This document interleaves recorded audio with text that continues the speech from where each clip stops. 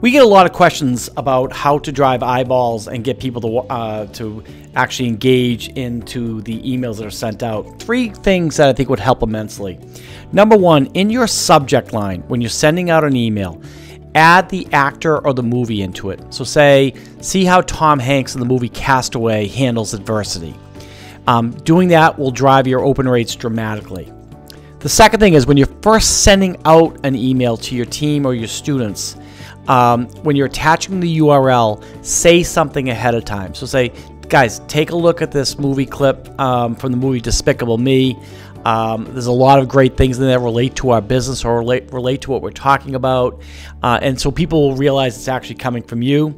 And finally, a great tip is to just videotape yourself or videotape others, especially if you have a decentralized workforce and you're trying to engage people, you're trying to stay off the road a little bit.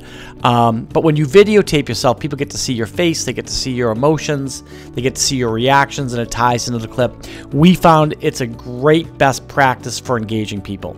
Hope this helpful is helpful, and we'll talk to you soon.